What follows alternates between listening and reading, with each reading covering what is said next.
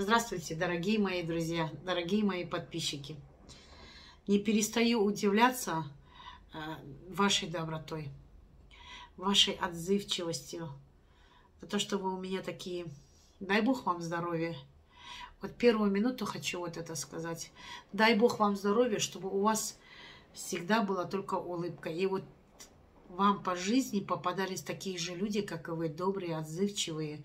Вы у меня такие умные, остроумные. Вот честное слово, вот каждый, каждый этот, который я читаю, ваше, да, меня просто вдохновляет, да, вот идти вперед, не падать духом. Вот я выпустила этот ролик насчет моего племянника, девчонки, да.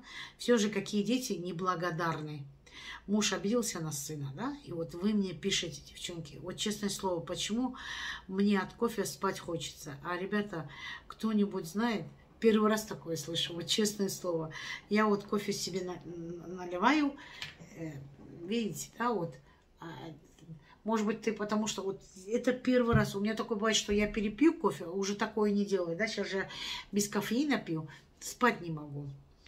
Это Зильфинар мне пишет.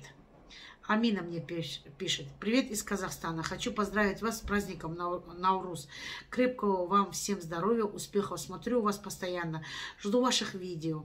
Постоянно. Вы мне очень нравитесь. Добрая и правильная ум, умница. Амина. Вас всех азербайджанцев, у нас азербайджанцы только исправляли, вот Наурус, да, вот это, да, всех азербайджанцев я тоже поздравляю. Какой добрый муж с собачкой, собачкой делится печеньем. Только, конечно, ей такое кушать нельзя совсем, совсем э, нельзя. Совсем, всем хорошего настроения.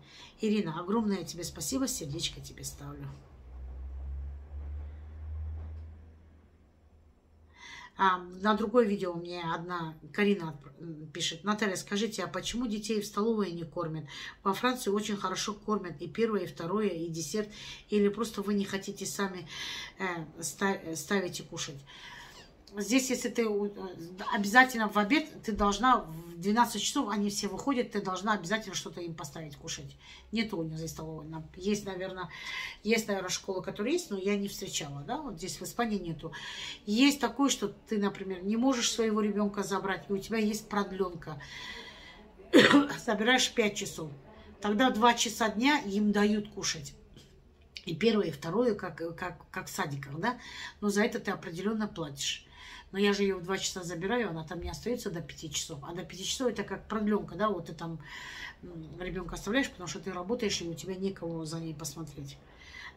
Анжела мне пишет, Наталья, ты молодец, спасибо. Елена, добрый день, Наталья. Подписалась на вас, смотрю с удовольствием, как у вас красиво. Весна. У нас еще в Оренбурге снег лежит, но уже каждым днем меньше. Тоже скоро все зеленеет.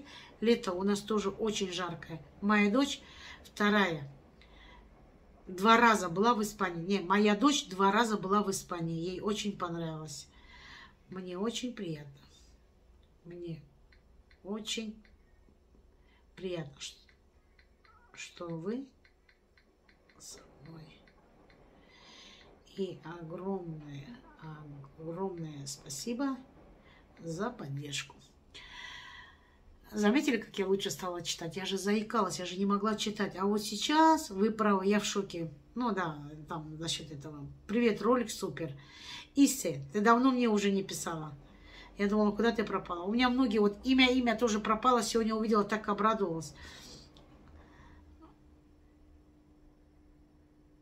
А, так, смешно про макароны. У меня есть один ролик, и мне Олеся пишет, вот видите, девчата, вот смотрите, я вот так захожу, вот так захожу, и у меня, вот видите, это вот первые ролики, да, потом второй, третий. Я стараюсь на все ответить комментарии, девчата. Видите, потом обратно другой ролик идет, это в творческом студии. Потом еще старый ролик, видите, тоже хочу ответить. Потом еще этот ролик. И иногда бывает так, девчата, да, мы не любим так, мне пишут, мы не любим. Нужно было нести тяжелый ковер на речку, мылить, ведрами заливать и, и, из реки, а потом еще тяжелее домой нести. А щетки были без ручек, да, ползком по мокрому ковру, а потом сами в реке купались. Правда, мылом хозяйственным мыли. Мы тоже, э, потому что река рядом, нельзя порошок. Как ты права? Как ты права? Мы тоже так мыли. Мы тоже так мыли, так мыли, но не на речке.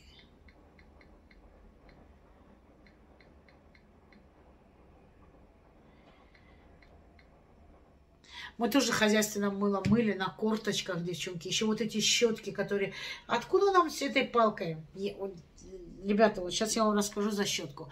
У нас в Махачкале, где я жила в нашем доме, Короче, вам спасибо за комментарий. Если кому-то не ответила, я по тысячу комментариев в день отвечаю. А мне еще кушать надо сделать, ролик надо запилить, стиралку надо поставить. Да еще у меня там глажка, там, наверное, до потолка дойдет, никак не, руки не доходят, завтра дойдут.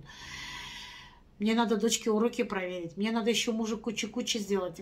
Короче, мне все надо. И понимаете, я все прекрасно понимаю. Но я всем хочу сказать огромное вам спасибо за ваши комментарии. Зато я читаю. Даже в ванну иду купаюсь, девчата. Вот так ставлю, начинаю голову мыть. Вот сегодня голову мыла пальцем, потому что у меня можно мокрыми руками. Этот, и читаю комментарии, читаю, но я не отвечаю, но читаю комментарии. Улыбаюсь, сама собой разговариваю. Вы мне делаете очень хорошее для меня, да, вот, по крайней мере, мне это приятно, я это ценю. Ребята, не думайте, что я это не вижу. Я вам очень благодарна, большое вам спасибо. Девчонки, знаете, за ковер, вот я читала туда-сюда, короче, я вспомнила. У нас в Махачкале, у моей мамы, э, в зале была мебель, и там мебели столько было этого хрусталя, девчата, это просто было что-то, полное хрусталь. Вот здесь там балкон, тут этот э, диван, э, большой стол, и вот так ковер, здоровый ковер до конца, и там телевизор. Так, этот ковер, э, пылесос сломался, но у нас всегда был пылесос, но пылесос сломался. И вот этот ковер вот этой щеткой, которая без ручки. Надо было вот так потихоньку на корточках, вот так. Веник нельзя было, потому что пыль поднимала, мама говорила. Мы мечтали о венике, вот обычный веник есть, мы мечтали о нем. Теперь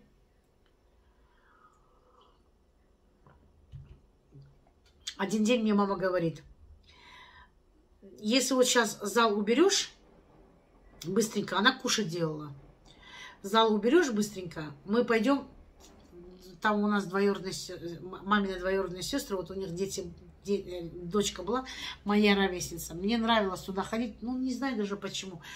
Хоть там не очень так, но так как мама туда ходила, и вот это все, я была привычна. И мама говорит, мы к ним в гости пойдем. У них свой двор, все к ним в гости пойдем. Ну вот мы, мы, я, я ходила, но там она, правда, нас не заставляла не убирать, ничего, так как у нее столько сестр было, да.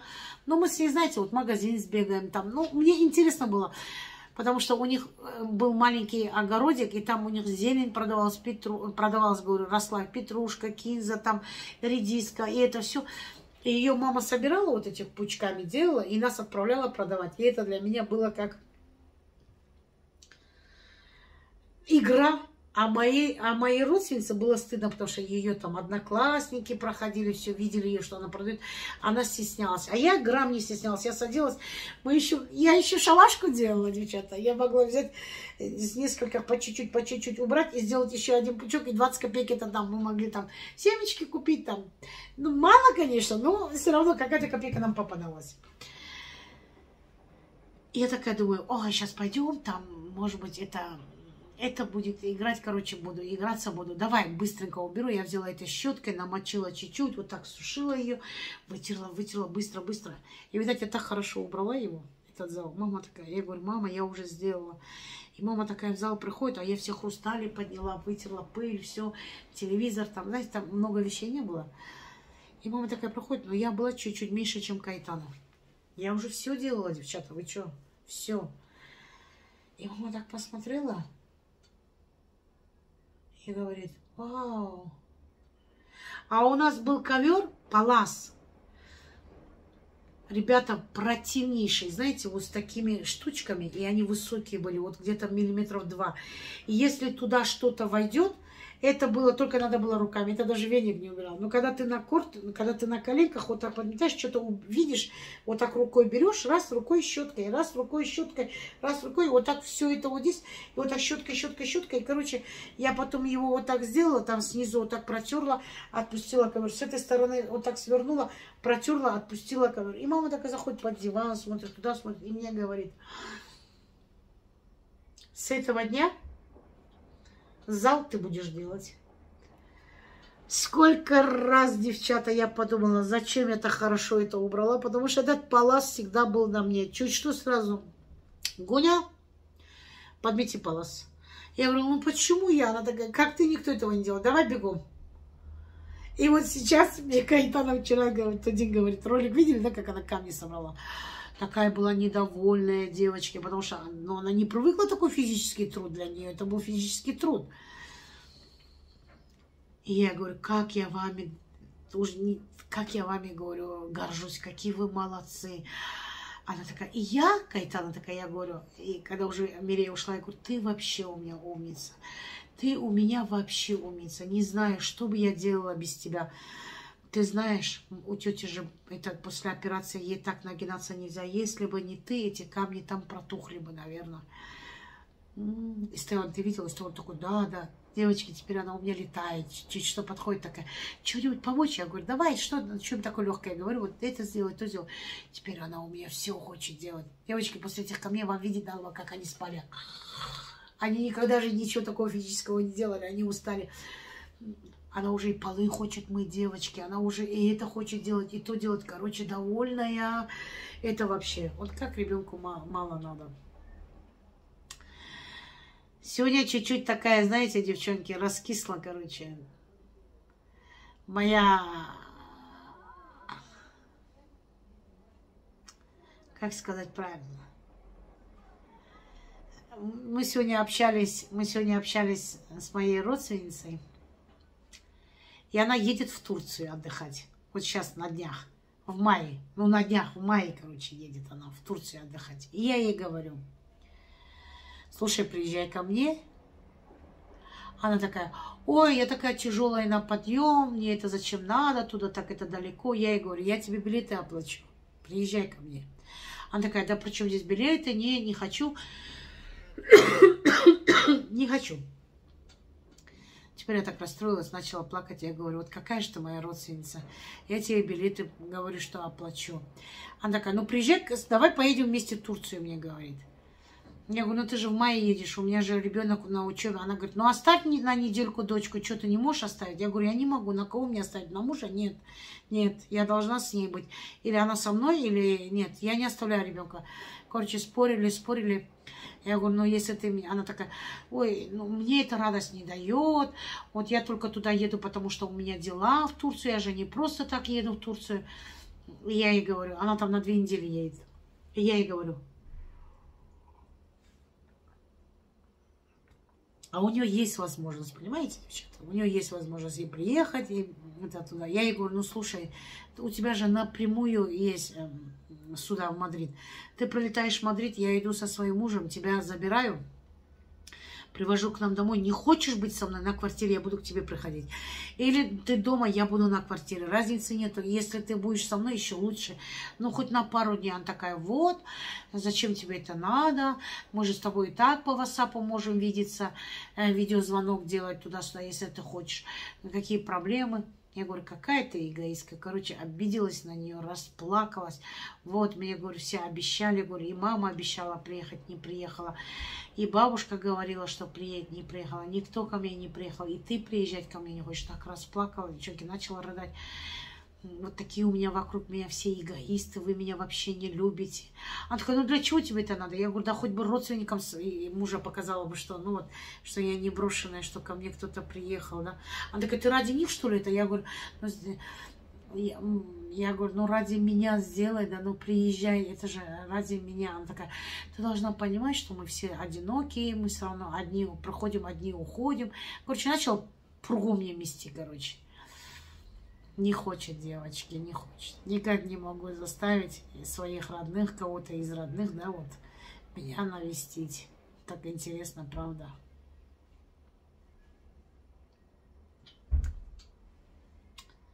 Ты, говорит, приезжай со мной. Я говорю, ну, если бы ты летом ехала, я бы поехала бы, говорю, мы с тобой бы увиделись бы там, хоть в Турции, да? Я бы, говорю, поехала бы, но ты пойми, ты же не едешь, говорю, сейчас. Э, ты же не едешь летом, как у, меня, у моего ребенка, говорю, школа, я не могу бросить школу на неделю-две. Меня же, говорю, во-первых, говорю, будут спрашивать, говорю, почему, какая причина. Это же серьезно, это же не просто ты вот так взял и, и сказал, давай, до свидания. Так же нельзя, это же все-таки ответственность, у меня же ребенок. Девочки, я не могу ее оставить ни на кого. Ни на кого, ни на брата, ни на, ни на, ни на отца не оставлю, ни на, ни на ребенок спит, где я. Я не оставляю ее. Вот знаете, вот какой-то вот мой муж это мой муж, все равно он мужчина. Девочки, она уже в таком возрасте, который нет, а не дай бог, вот, вот знаете, вот не знаю, как вам объяснить, чтобы вот не подумали, ай, какие у тебя черные мысли. Да, они у меня есть. У меня постоянно они есть. Что вдруг мою дочку кто-то там, не дай бог, понимаете, девчата? Поэтому я ее не отпускаю. Поэтому я вот так, пока она сама на ноге, вот пока она... Я же ее вижу, вот есть же дети такие ушлые, которые могут за себя, она не может за себя постоять. Я боюсь, понимаете? Чтобы у моего ребенка никогда не было достаточно травмы, у моей дочки есть. Понимаете? Я не доверяю никому. Никому. Я и с братом ее не оставляю. Вот думайте, что хотите, пишите, что хотите. Вот это мое внутреннее, понимаете?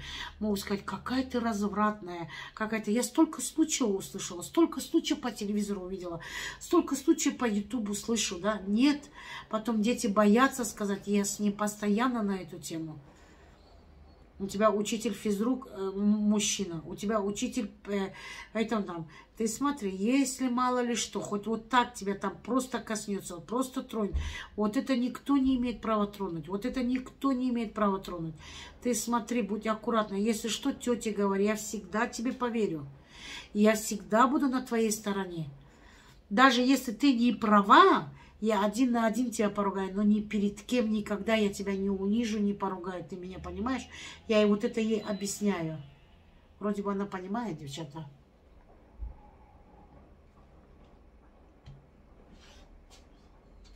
Как ваше мнение? Как вы думаете? Я боюсь, что моей дочке сделают травму. Я боюсь, потому что, девчата, я же вам говорю, у нас сосед был на третьем этаже. Он на балкон выходил без трусов. Вот мы белье вешали там, или ковер, он как будто ждал, он как будто... И он нам говорит, э, а, и нам свои вещи показывал, колокола нам свои показывал. Мы вот такие, как Кайтана были. Мы тряслись, мы так боялись. Мы это маме не говорили. Вот а почему не говорили? Потому что боялись, не было доверия, девочки. Боялись мы ей это рассказать. Потому что нас как воспитали? Если что-то не так, мы виноваты. Если соседка поругает нас, мы виноваты. Никогда меня мама не спрашивала, а почему это случилось? А ну сядь, расскажи, а в чем было дело? Почему ты ей вот так ответила? Вы что? У нас были такие соседи, которым которые могли подойти и ударить тебя могли соседи. И вот мы маме это не могли сказать. Мы ей боялись ответить, потому что это же взрослая женщина, мать узнать еще добьет тебя. Понимаете, какой-то вот... Не было этого доверия. Не было как мама, как подруга, которая... Ну, в моем окружении не я единственная. Это не только вы не думаете только что у меня. В автобусы, когда мы залазили, девчонки, с девчатами, дук-дук-дук-дук залезем, сколько раз бывало, что я чувствовала, что мне там грудь потрогали, попу там мне потрогали. Я поворачивалась и, и вот так отходила вот это все. Почему в этот момент я не могла сказать, эй, ты что там, охренел, что ли? Потому что не боялась, что на меня навалит, что я сама виновата, что я, значит, вот, вот это одела, чтобы вот... Ну, вы понимаете, о чем я говорю? Как бы девушка ни шла, какую бы она одежду ни одела, Хоть у нее все там видно, хоть у нее все прозрачно, никто не имеет права к ней прикоснуться, если она не дает согласия. Если женщина пьяная валяется на полу, никто не имеет права ее трогать. Нет на это права ни у кого. Понимаете? Это мое мнение. Это мое мнение. Личное за такие. Вот он, а у нас же еще женщины... Главное, знаете что, девчата, да, вот я вам говорю. Главное, знаете, их же еще оправдывают. Она себя так вела, она себя, как бы она ни вела, кто бы она ни была, даже если она занимается проституцией, не имеет права ее никто изнасиловать и насильно ее тронуть. Не имеет права. Никто это право не дает тебе. Это мое мнение, девчата. С одного, это на какую тему я вышла. Понимаете, вот, вот что я вам хочу сказать. Я вот это, поэтому я дочку вожу в школу, Редко мой муж водит, но чаще я привожу со школы, сразу на ее лицо смотрю, я по лицу ее знаю, как она, что она. Кто-нибудь обидел, кто-нибудь тронул тебя там, чем, но не в том смысле, что я ее прям вот это об этом нет. Вообще, как твои дела? Как у тебя? Как школа прошла? Иди сюда, я по тебе так соскучилась, я по тебе скучаю, обнимаю ее всегда, девочки. Сейчас возле школы не дают это делать уже. Уже мы с ней договорились. Кто меня понял, тот меня понял. Кто меня не понял, девчата, это ваша проблема. У меня, видать, внутри эти страхи есть. И то, что я вот эти страхи прошла, не хочу, чтобы моя дочь прошла. Вот так. Ладно, все, прощаюсь, целую, переодеваюсь, иду за своей дочкой.